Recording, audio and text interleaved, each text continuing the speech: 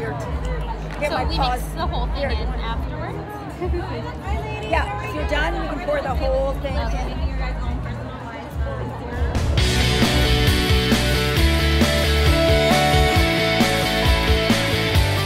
shadow textures because you know to work with pigmented formulas of eyeshadows and also the spreadability is really um, it has to work well together you know formulas when you layer something they have to blend into each other they have to be homogeneously working together so as a base i always say that it's very important to use an eyeshadow base you know what I mean? Like when it's too wet, then the pigments just stick to it.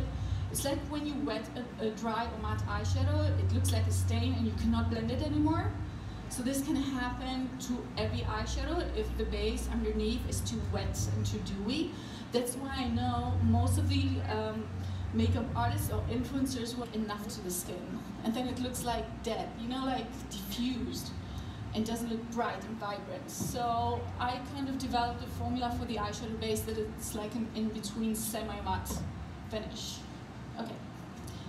So I need another one. That's not good for so I will use it again. Let's move this thing over here, thank you. Good, so uh, I will start with a dense but fluffy brush, picking up, whoops, true, which is a greenish, like a brownish green or greenish brown. Eyeshadow with the cream powder formula. It's really super creamy and um, I'm just kind of pressing this, but at the same time also blending onto the outer corner and the inner corner. I know that this look doesn't seem to be very wearable, but I want to show you something really interesting, a little bit of technique, color combination, something interesting. Uh, for wearable looks, you can also look at my YouTube videos. Um, I hope they're wearable enough, but um, I don't know. I'm trying not to make too complicated. Okay, and then with a little bit more fluffier brush, I'm picking up symbol. Is it symbol? Yeah.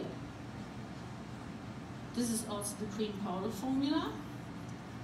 This is super, super pigmented. You know that the cream powder formulas, many times they look a little bit darker in the pan than when you're actually using it because it's a wet powder. And wet powders, they look always darker. Okay, and then on the skin, but you can get to this darkness. I can just pick it up like this and I can use it that way on the skin too. But when you diffuse it, you can just get lighter and lighter. So I picked up just a little bit of pigment. I don't want it to be too dark right now. And this I'm placing into the crease. Now, you know, I wanted to uh, tell you something about where to place shades for the crease. Sometimes it's kind of different because there are people, when they close their eyes, they don't see when, sorry, when they open their eyes, they don't see any crease, right? When the when the eyes are kind of hooded or semi-hooded, you just see a fold. It's different than her eye.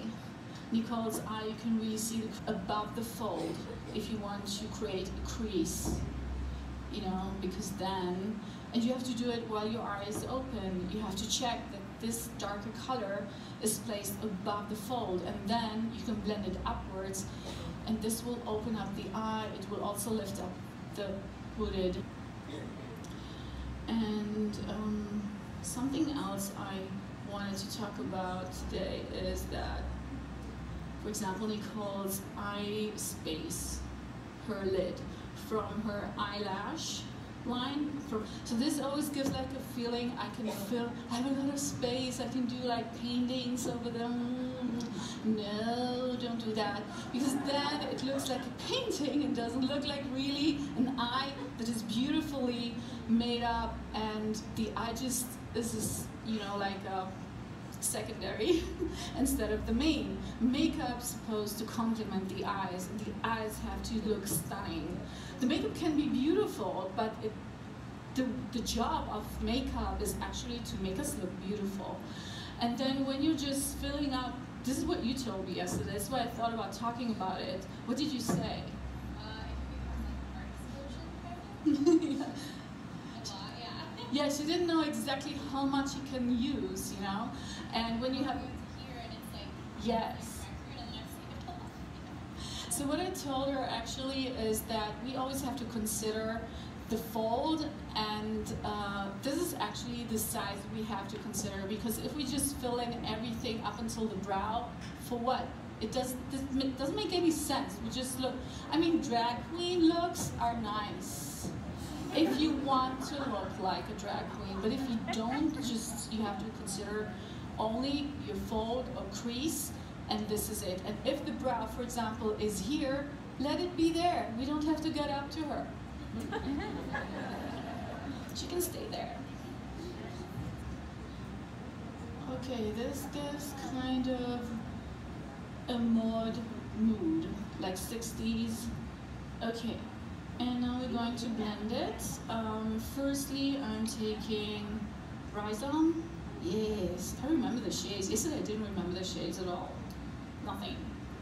Even though I'm the one that I'm responsible for the, for the names usually. No comment.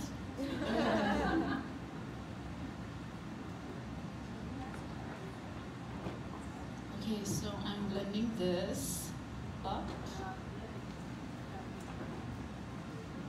Really following the natural shape of the crease. If you do that, I mean following the natural shape of the crease, then you can go crazy, a little bit more crazy than usual. It will always look good.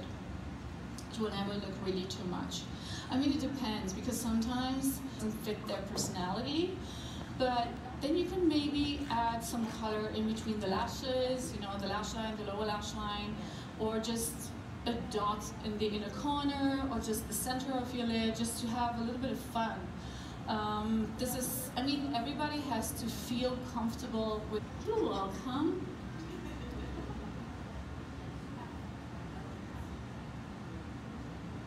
going to diffuse it a little bit more with Hello Rope. I don't remember why I called it rope. Forgot what kind of mood I had this day. Okay, now I'm picking lethal just to connect these two and to give a more greenish hue to the transition.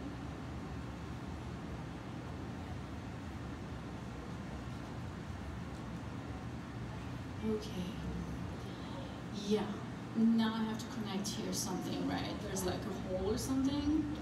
So I'm adding a little bit more of tube.